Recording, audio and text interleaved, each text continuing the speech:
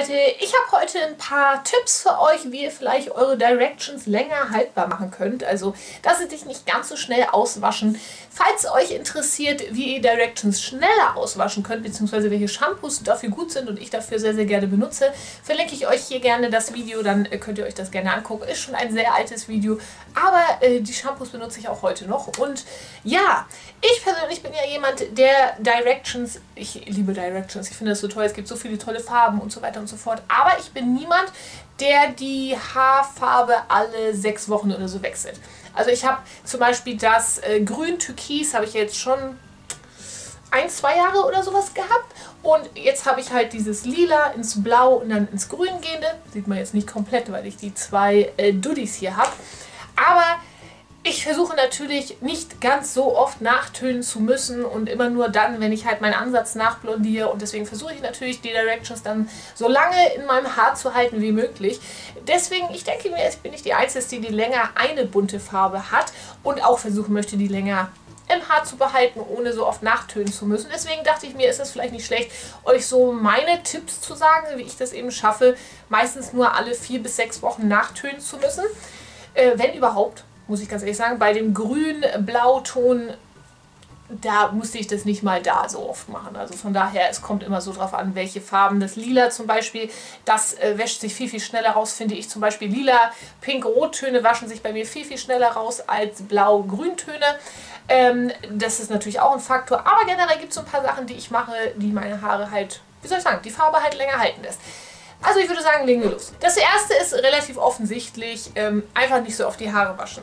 Wenn ihr jetzt jemand seid, der jeden Tag die Haare wäscht, jeden zweiten Tag und so weiter und so fort, da wird man nur wenig machen können, dass man nicht ganz so oft nachtönen muss. Also ich persönlich wasche meine Haare nur ein bis zweimal die Woche, je nachdem, äh, ob ich schwitze, ob ich Sport gemacht habe, was auch immer. Auf jeden Fall ein bis zweimal die Woche und das ist natürlich schon ein Riesenfaktor, dass sich die Haarfarbe nicht so schnell auswäscht, logischerweise.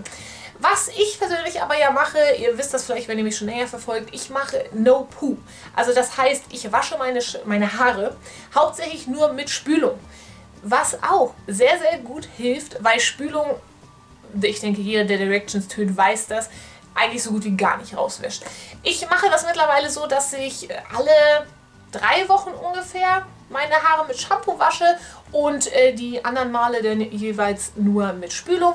Ich benutze immer diese Spülung dazu, die ist meiner Meinung nach bisher zumindest die einzige, die für das No-Poo wirklich am aller, allerbesten funktioniert. Alle anderen sind eher so meh dafür geeignet, aber die hier funktioniert für meine Haare zumindest perfekt, macht meine Haare trotzdem schön sauber, also sie sehen nicht fettig aus oder sonstiges.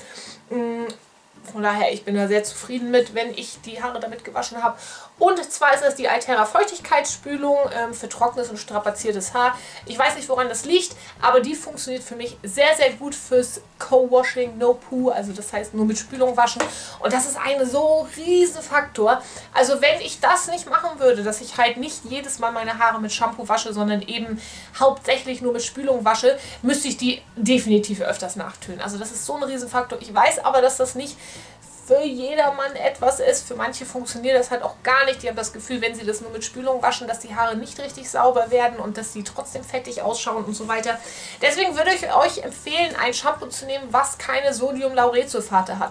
Also das heißt, diese typischen Shampoos, die man halt eigentlich benutzt, um Directions auszuwaschen, diese ganzen ähm, Anti-Schuppen-Shampoos und so weiter, das hat halt diese ganzen harschen Tenside drin, diese Sodium-Lauryl, Sodium-Lauretsulfate und so weiter und die waschen halt die Directions viel, viel schneller aus. Deswegen benutze ich gerne solche Naturkosmetik-Shampoos. Meins ist hier auch von Altera, das Koffein-Shampoo. Hier ist nämlich statt ähm, Sodium-Laurylsulfat drin oder sowas, ist hier Sodium-Kokosulfate drin und ich finde, das gibt wirklich, also ist ein deutlicher Unterschied. Wenn ich jetzt diese Shampoos hier benutze, statt jetzt irgendwie diesen normalen Shampoos mit den ähm, Sodium Lauryl und Lauretsulfaten, das ist ein Riesenunterschied. Also die waschen viel, viel weniger Directions raus als die anderen. Also ich kann das sehr empfehlen.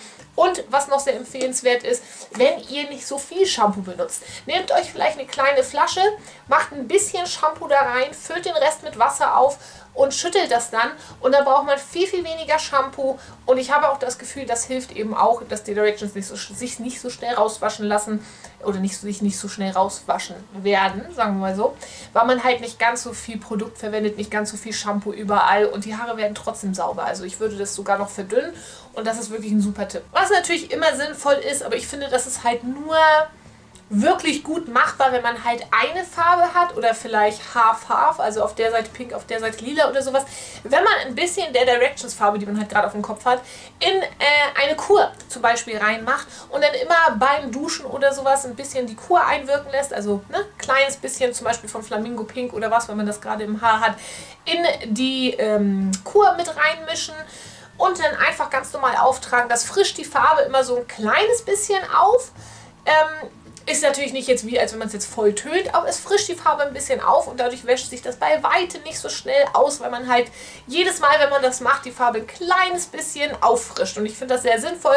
Man verbraucht nicht viel Produkt von den Directions, meine ich jetzt, weil man ja nur ein kleines bisschen in die Kur mit reinmacht. Man will auch nicht zu viel reinmachen. Aber ich finde das sehr, sehr sinnvoll. Ich habe das auch schon ausprobiert und das funktioniert wirklich gut, um die Farbe halt länger halten zu lassen. Dann ist auch noch ein Punkt, nicht so viel Hitzeprodukte benutzen, also Glätteisen, Lockenstab und solche Sachen. Denn oftmals verblassen auch da die Directions schneller, also zumindest aus meiner Erfahrung raus. Ich mittlerweile benutze halt überhaupt gar keine Glätteisen mehr. Ich föhne meine Haare nicht oder sonstiges.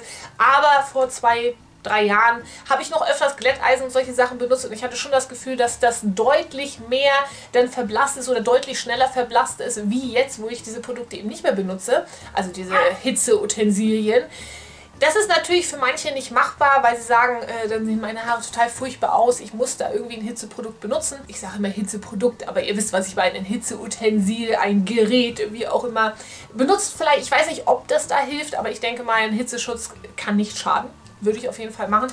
Aber wenn ihr darauf verzichten könnt, würde ich das machen. Das hab, also ist nicht nur aus meiner Erfahrung raus, ich habe das schon von vielen anderen YouTubern und so gehört, dass gerade wenn man oft Glätteisen benutzt, gerade beim Glätteisen oder diese Lockenstab und sowas, da kommt halt so viel Hitze an die Haare, dass dadurch die Haarfarbe wirklich deutlich schneller verblasst. Also wenn es möglich ist, verzichtet auf Glätteisen, Lockenstab und Co. Das waren so die Sachen, worauf ich achte was ich mache, um meine Directions lange halten zu lassen, dass die halt nicht so schnell sich rauswaschen lassen und so weiter und so fort. Es gibt bestimmt noch reichlich mehr Tipps. Wenn ihr welche habt, die ich hier nicht genannt habe, dann bitte ab in die Kommentare damit. Das ist immer hilfreich.